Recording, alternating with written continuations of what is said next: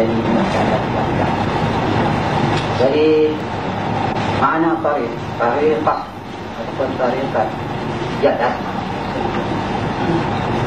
Hadir jalan jalan untuk Allah. Jalan untuk mencapai diri kepada Allah. Syirat jalan sama Allah. Jalan untuk mencapai diri kepada Allah.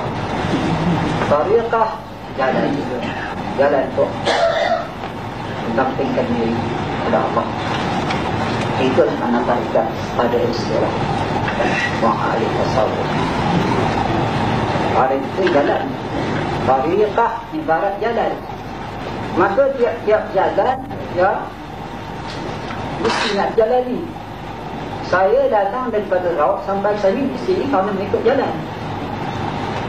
Kalau sekiranya jalan saja ada Saya tidak nak berjalan Tak sampai saya Jadi begitu dia berkaitan Tariqah itu jalan. Ketika mengikut jalan itu Itu kata kasih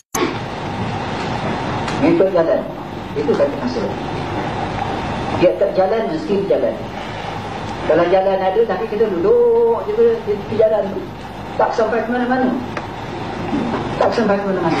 Kalau ada jalan Bahawa kita tak sampai kepada apa yang kita maksud. Kalau kita nak pergi pasar Pergi ke ke, ke kedai Nak mencari apa-apa Ikut jalan. Ini tak pernah nak kedai nak beri apa pun itu ni rokok ni. Ni tak suruh itu tak ikut jalan tak akan sampai jadi begitulah mana terikat tu jalan. Dan menjalani jalan itu tak kata suluk kita kena suluk suluk ni asal perkataannya salik salik itu jamak. Ha, salik itu kata mafrad suluk itu perkataan jamak jawab tafsir.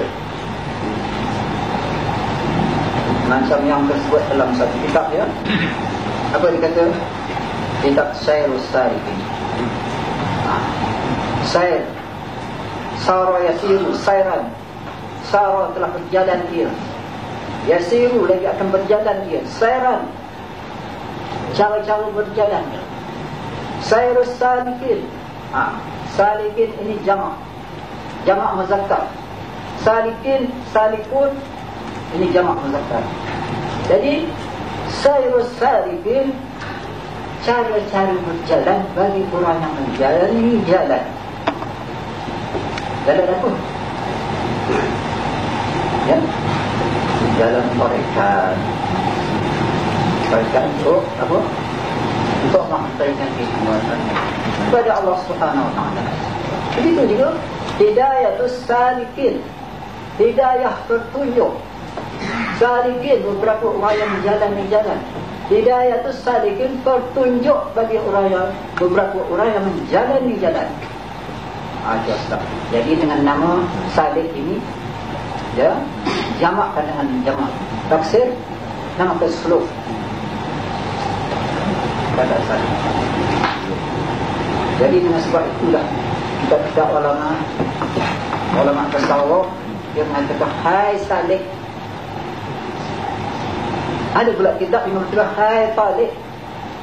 Jadi perbezaannya salib dengan talib. Talib hai orang yang menuntut ilmu. Ilmu apa? Ilmu secara zahir. Ilmu hukum. Untuk mengkawi. Halal dan haram. Suruh dan tegak. Sah dan batal. Itu dia katakan talib. Tetapi salib orang yang sebagai menuntut ilmu yang batin. Ilmu batin macam mana? Bukan ilmu batin pergi suruh-suruh mata balik besar, bukan. Ilmu batin ini hati ini batin. Ini hati ini batin. Itu batin. Kita mengucap tu kalimah syahadat, ya. Ruk anu syahadat anu rukun anu sepenan syahadat. Ya. Ataupun sepenan ini. Pertama ikrar dengan lidah.